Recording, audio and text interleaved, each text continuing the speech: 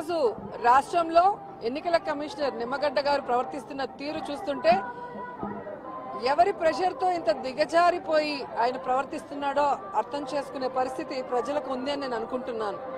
ఎందుకంటే local body elections అవసరము కేంద్రం నిధులు రావాల్సిన అవసరం ఉంది అని చెప్పి ఎన్నికలు పెట్టినప్పుడేమో అంటే ప్రారంభంలో కోవిడ్ వచ్చిన స్టార్టింగ్లో కేసులు తక్కువగా ఉన్నప్పుడేమో కోవిడ్ ఉంది ప్రజల ప్రాణాలు ముఖ్యమని చెప్పి ఎలక్షన్ని క్యాన్సిల్ చేసిన పెద్ద మనిషి. ఈరోజు దాదాపుగా ఏడు వేల మంది చనిపోవడం జరిగింది. అండ్ అందరూ కూడా భయపడుతున్న సమయంలో మన అదృష్టం వ్యాక్సిన్ రావడం జరిగింది. కేంద్ర ప్రభుత్వం వ్యాక్సిన్ చాలా ఇంపార్టెంట్. ఇమీడియట్గా మరి ఫ్రంట్ లైన్ వారియర్స్కి ఈ వ్యాక్సిన్ని వేయమని చెప్పి మరి చెప్పడం జరిగింది. అండ్ మన రాష్ట్రంలో ఫస్ట్ ఫేజ్లో first front warrior front front line warriors ఎవరైతే వైద్య సేవలో మనందరికీ కూడా రక్షణ కల్పించారో వాళ్ళకి వ్యాక్సిన్ వేస్తున్నారు. తర్వాత పోలీస్ వాళ్ళకి రెవెన్యూ వాళ్ళకి పంచాయతీకి సంబంధించిన సచివాలయ సిబ్బందికి అందరికి కూడా వేయబోతున్నారు. కానీ ఈరోజు ఎవరికి కూడా ఇంకా ఫస్ట్ డోస్ పూర్తిగా అవ్వలేదు.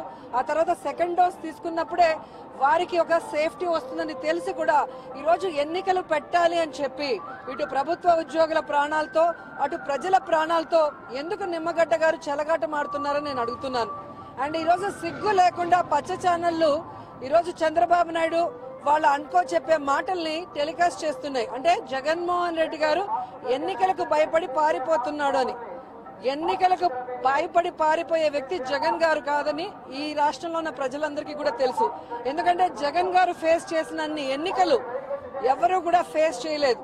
అంత దమ్మున్న నాయకుడు జగన్మోహన్ రెడ్డి గారు కేవలం ప్రభుత్వ ఉద్యోగుల ప్రజల ప్రాణాలు కాపాడటం కోసమే కొంచెం పోస్ట్ పోన్ చేయండి. ఈ వ్యాక్సిన్ అయిన తర్వాత వాళ్ళకి రెసిస్టెన్సీ పవర్ వచ్చిన తర్వాత పెట్టుకోమంటున్నాడే తప్ప మొత్తానికి ఎన్నికలు పెట్టొద్దని చెప్పట్లేదు.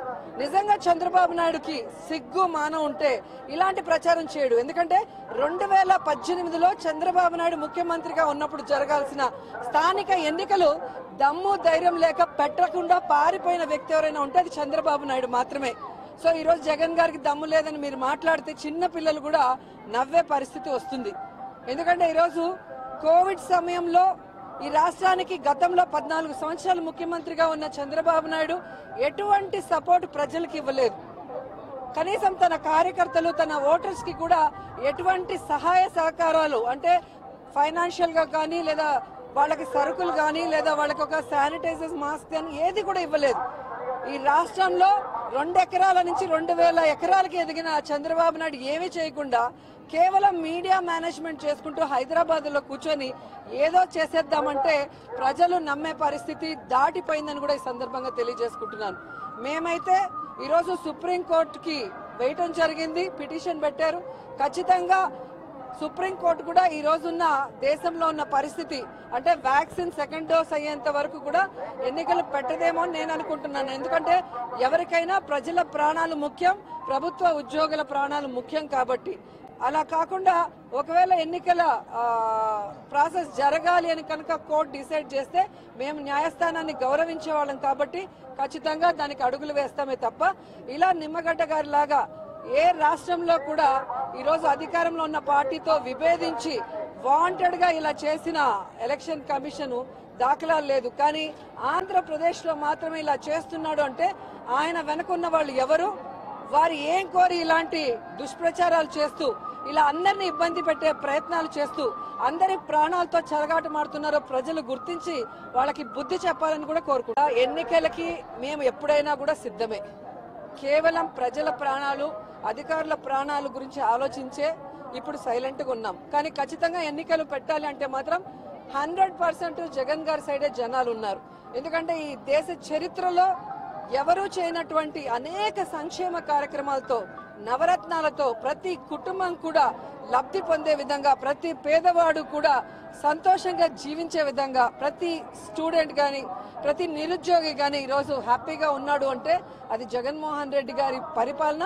ఆ పరిపాలనకి హండ్రెడ్కి హండ్రెడ్ మార్క్స్ వస్తాయి కాబట్టి ఎవరు కూడా భయపడే పరిస్థితుల్లో లేదు విలేజ్ కమిటీ అనేది ఉండేది అపోజిషన్కి మాత్రమే కాదు. ఎవరికైనా ప్రివిలేజ్ దీంట్లో ఒక చిన్న బాధింపు ఉన్నప్పుడు చెప్పుకునే అవకాశం ఉంది.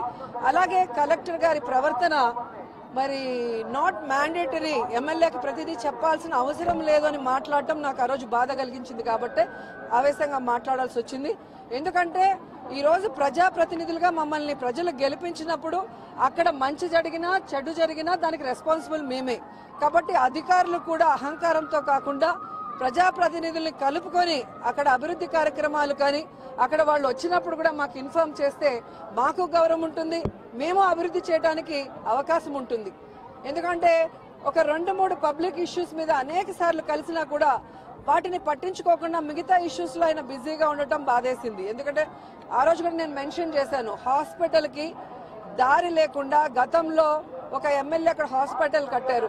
దానికి దారి లేకుండా చాలా ఇబ్బంది పడుతున్నారు ప్రజలు. సో ఆ దారి గురించి ఆల్టర్నేటివ్ ల్యాండ్ కానీ లేదా ల్యాండ్ అక్విజిషన్లో డబ్బులు పెట్టైనా కొనమని చెప్పాం. సో జగన్ గారి వరకు అది తీసుకువెళ్ళాలి కాబట్టి మళ్ళీ నేను సార్కి ఇన్ఫార్మ్ చేయడం జరిగింది.